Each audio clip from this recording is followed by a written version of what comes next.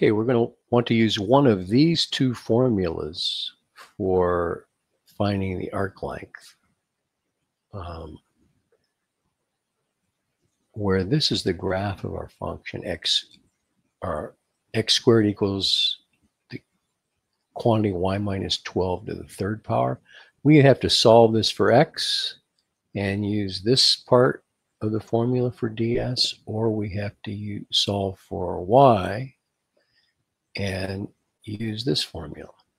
Uh, and you have to determine which one's going to give you an integral that's easiest to evaluate. It turns out that if you solve for y, take the derivative of y with respect to x, and try to integrate something that looks like this. 1 plus, I think you get something like 4 ninths x to the minus 2 thirds. Uh, it's a very long, tedious process to find an antiderivative for that.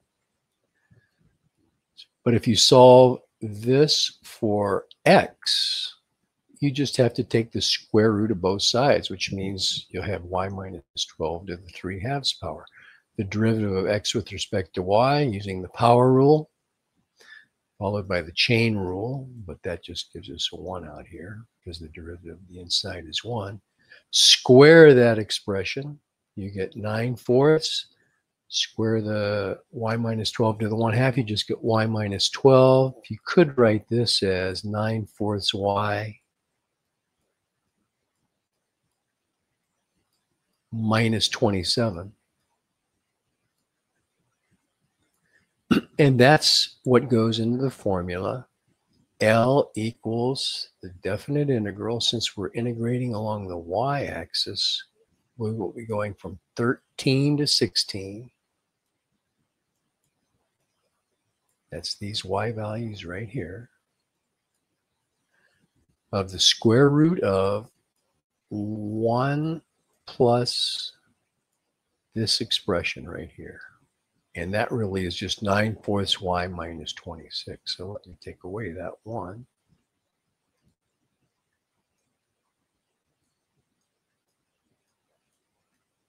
Nine fourths y minus 26. so that's what I could replace this with down here. Now, how do you evaluate this integral? just use u substitution. Let u equal 9 fourths y minus 26 and replace everything. Oh, there's a dy out here.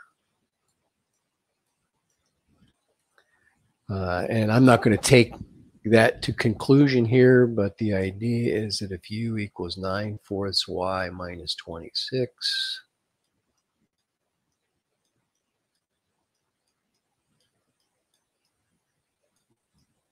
that du will equal 9 fourths du uh, dy. So when we use u substitution, we will put a 9 fourths here and a 4 ninths out front.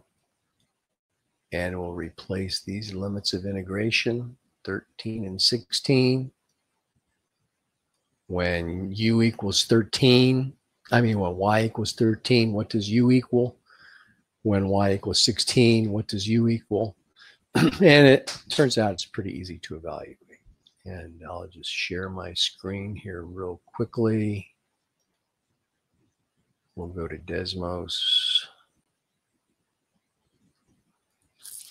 And I'll show you that there's three different intervals here g of x was the integral when I solve for y.